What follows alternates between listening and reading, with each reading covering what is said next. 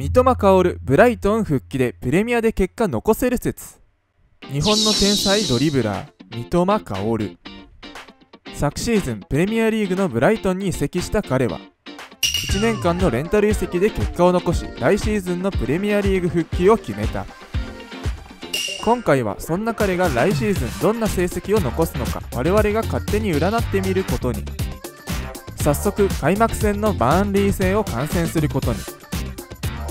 かしこの試合我々の期待とは裏腹に三笘はチームに馴染めないもののチームは前半のうちに奪った1点を守り抜き開幕戦で勝ち点3を獲得。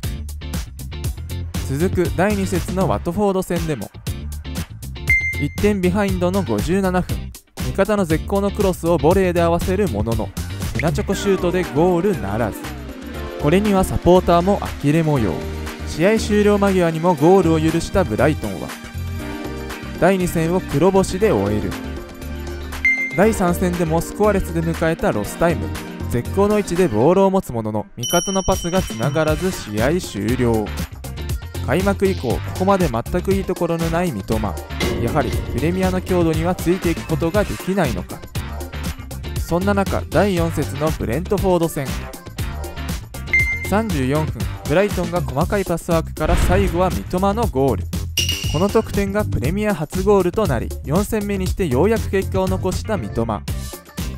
このゴールで勢いに乗りたい三笘は63分。味方のスルーパスに抜け出しゴール前で1人かわしシュート。しかしここはキーパー正面でゴールならず。試合終了間際にはカウンターのチャンスで味方のロングフィードに反応しキーパーと1対1の場面。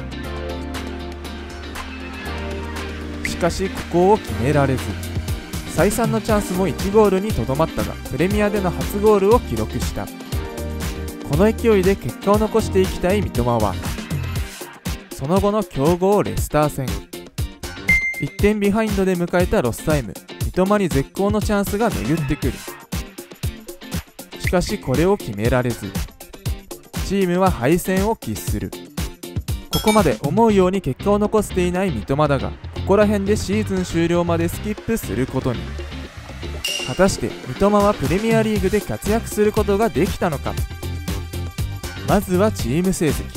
ブライトンは13位と昨シーズンの成績を下回る結果に終わった。気になる三笘の個人成績は。